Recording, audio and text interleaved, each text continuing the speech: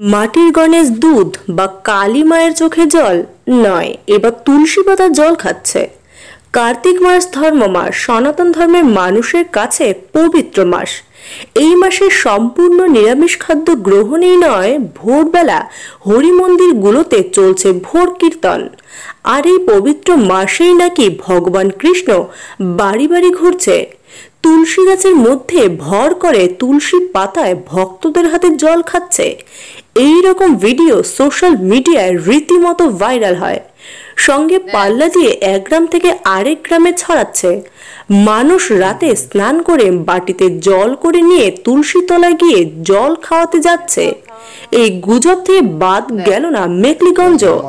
আজ রাতে পুরসভার নয় নম্বর ওয়ার্ডের বেশিরভাগ বাড়িতে চলছে তুলসী গাছকে জল খাওয়ানো। এমন দৃশ্য আমরাও আপনাদের সামনে তুলে ধরলাম। যদিও এ নিয়ে বিজ্ঞান মনস্ক মানুষরা পুরোপুরি উড়িয়ে দিয়েছেন। এ নিয়ে তারা ব্যাখ্যা দিয়েছেন, শীতকালে তুলসী পাতা খুব শুষ্ক থাকে। ফলে পাতায় শুষ্ক শুষ্ক রন্ধ্র জলের কাছাকাছি আসলে আণবিক আকর্ষণ বৃদ্ধি পায় ও পাতা জল শোষণ করে। এর বৈজ্ঞানিক নাম পৃষ্ঠটান বা সারফেস স্টেশন। শুধু তাই নয়, সনাতন ধর্মের অনেক অনুরাগীরাও একে গুজব বলে মনে করেন।